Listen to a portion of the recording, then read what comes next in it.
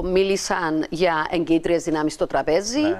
Μίλησα για στήριξη και ετοιμο- ετοιμασία της προσπάθειας που θεωρώ ότι πρέπει να είμαστε πάρα πολύ έτοιμοι. Μάλιστα. Αυτή, σε αυτήν τη διαδικασία πρέπει να είμαστε πολύ έτοιμοι. Άνω τελεία. Νικόλας Παπαδόπουλος.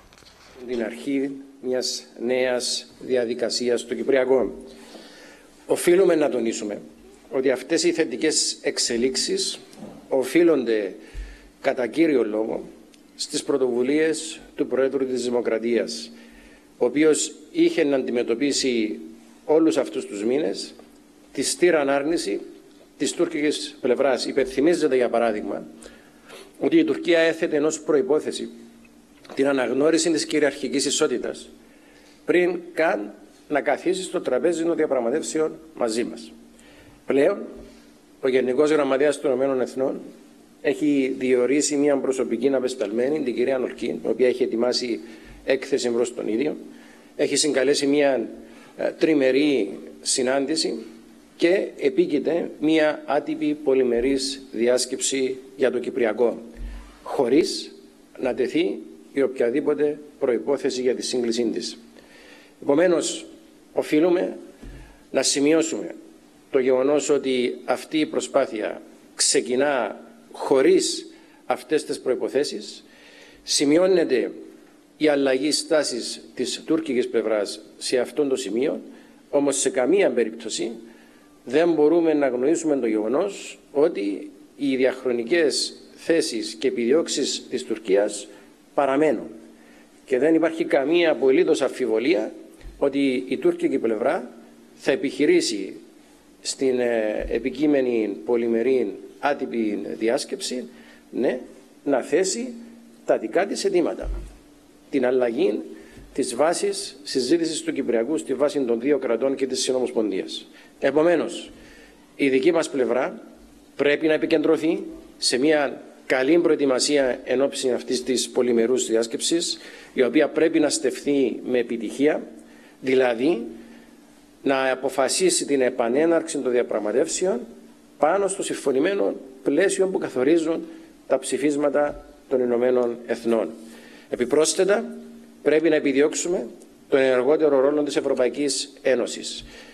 Δεν είναι τυχαίο ότι η διασύνδεση της ενταξιακής πορείας της Τουρκίας με το Κυπριακό έχει φέρει αυτές τις πρωτοβουλίες του Γενικού Γραμματέα των Ηνωμένων Εθνών.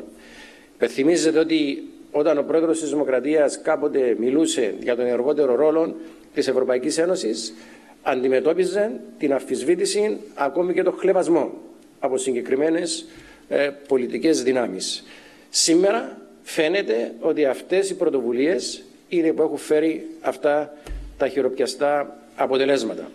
Επιπρόσθετα, πρέπει να συνεχίσουμε ως ελληνοκυπριακή πλευρά και όλες οι πολιτικές δυνάμεις με τις δικές μας επαφές με όλους τους σημαντικούς παίχτες της περιοχής αλλά και τα μέλη του Συμβουλίου Ασφαλείας για να βεβαιωθούμε ακριβώς ότι θα επαναρχίσουν οι διαπραγματεύσεις πάνω σε αυτήν τη συμφωνημένη βάση. Και τέλος, ναι, επιζητούμε τις συνεργασίες και τις συμμαχίες στο εξωτερικό, ιδιαίτερα σε ευρωπαϊκό επίπεδο, εάν αυτές μπορούν να επηρεάσουν θετικά την Τουρκία.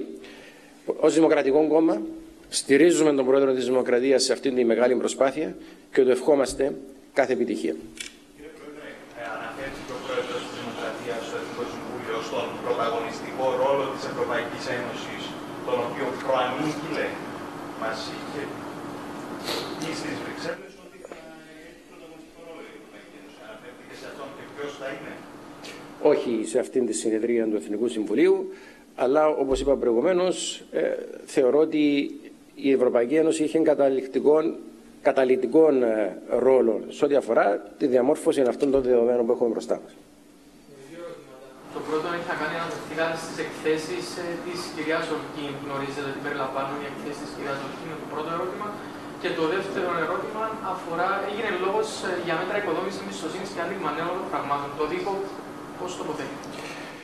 Πρώτος, σε ό,τι αφορά την έκθεση της κυρίας Ορκίν, η πληροφόρηση που έχουμε μέχρι σήμερα είναι ότι ο, ο μόνος που έχει δει αυτή την έκθεση είναι ο Γενικός Γραμματέας των Ηνωμένων Εθνών. Όμως, οφείλουμε να επισημάνουμε ότι αυτά τα βήματα είναι αποτέλεσμα της έκθεσης της ε, κυρίας Ορκίν και επομένως οφείλουμε να το σημειώσουμε αυτό ως ένα αντίλεκτο γεγονός. Σε ό,τι αφορά τα μέτρα οικοδόμησης εμπιστοσύνης, ναι, θεωρούμε ότι αυτό θα είναι το πρώτο τεστ που θα πρέπει να περάσουν οι, οι δύο ηγέτες.